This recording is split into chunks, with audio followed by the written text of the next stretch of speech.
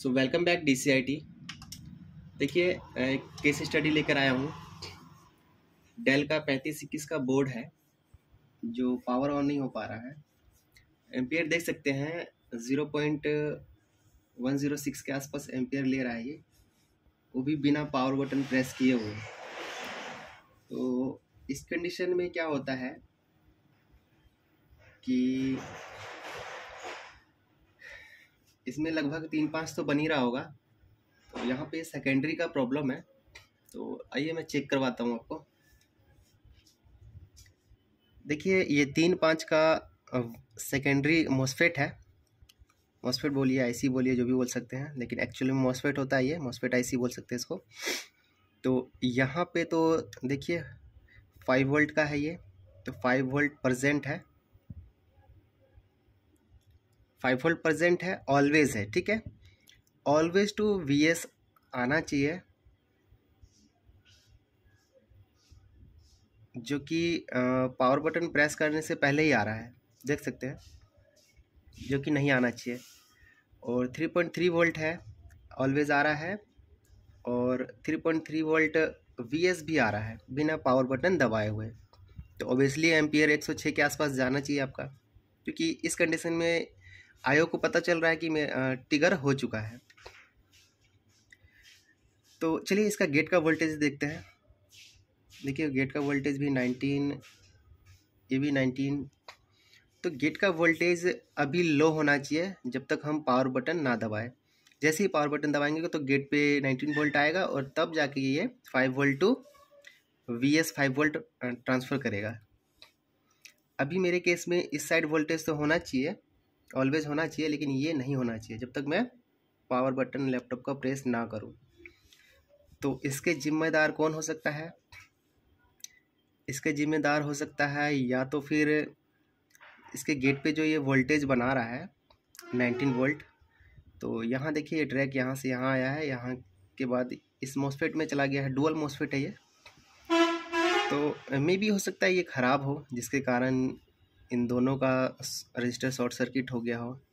Sorry MOSFET जो है, इसके वोल्टेज को ग्राउंड नहीं कर पा रहा हो अभी। तो अभी हम एक बार के लिए क्या करेंगे, इसको चेंज करके देखेंगे। तो बोर्ड करता हूँ मैं बंद। और एक बार इस आईसी को चेंज करके देखेंगे।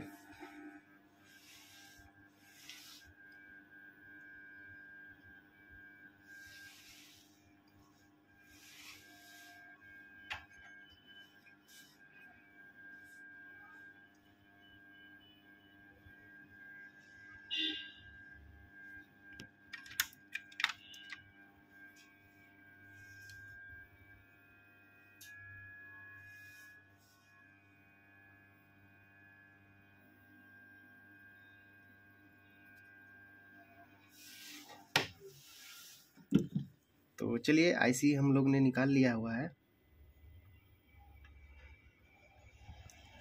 इसको रखते हैं। एक मेरे पास दूसरी आईसी है यहाँ पे।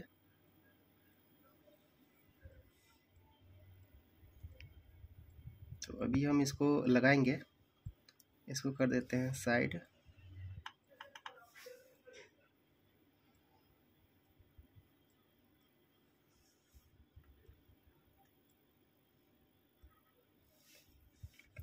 तो अभी हम इसको लगाएँगे।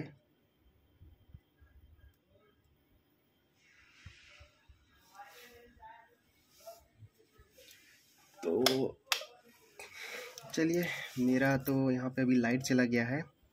तो मैं एक काम करूँगा, इसको मैं अपने आयरन को ऑन करता हूँ और आयरन से लगाऊँगा, क्योंकि एसएमडी तो अभी चल नहीं सकता है। तो थोड़ा सा वेट कीजिए, जब तक मेरा आयरन गर्म ना हो जाए। मैं आयरन से ही लगा के दिखा देता हूँ आपको। बहुत ही प्रॉपर तरीके से।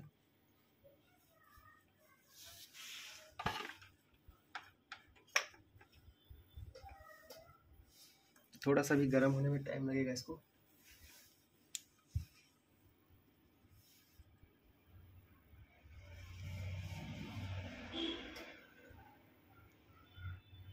तक बने रहिए हमारे वीडियो पे और वीडियो अच्छा लगे तो ज़्यादा से ज़्यादा शेयर करने की कोशिश करें, ताकि दूसरे भाई को भी समझ में आए ये चीज़। तो चलिए लाइट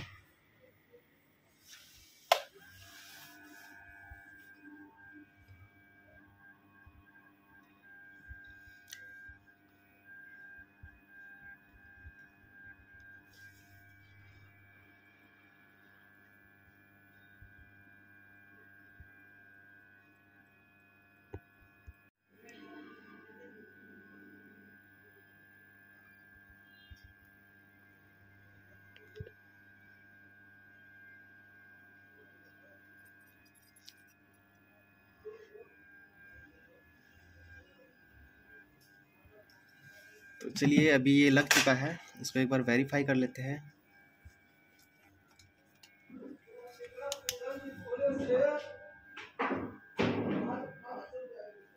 जी फाइनली लग चुका है ये। और अभी इसको रखते हैं यहाँ पे। दोस्तों इसको क्लीन कर लीजिएगा। क्लीन करना बहुत ज़रूरी है। आप अपने आईपी या जो भी हो, जिससे भी क्लीन करते हैं, उसे क्लीन कर लीजिएगा। और इस आईसी को हम हटा देते हैं। वरना तो शॉर्ट हो जाएगा दोबारा से।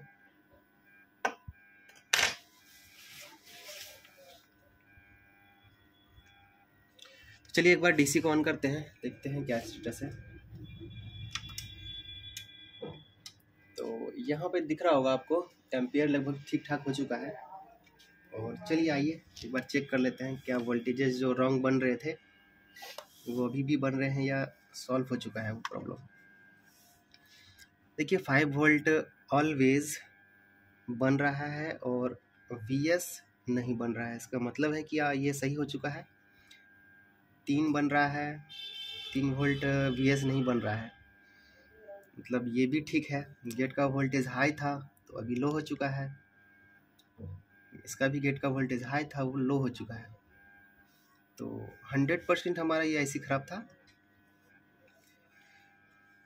तो अभी क्या करेंगे, बोर्ड को ऑन करके देख लेते हैं एक बार के लिए ये पावर बटन है मेरा, ये प्रेस किया बोर्ड ऑन हुआ। और एक बार फिर से बंद करके ऑन कर लेते हैं। तो देखिए बोर्ड प्रॉपर ऑन हो चुका है डीसी का एम्पियर 600 500 के आसपास और डिस्प्ले भी आ चुका है मेरा। अब दोबारा से देखते हैं क्या अभी का स्टेटस क्या है। देखिए वोल्टेज हाई हो चुका है। ज़ाहिर सी बात है पावर बटन के बाद ये वोल्टेज हाई होना चाहिए और हाई होते ही यहाँ पे थ्री फाइव वोल्ट जो है वीएस या थ्री वोल्ट वीएस आ जाना चाहिए। तो ये भी ये प्रॉब्लम जो है सॉल्व हो चुकी है।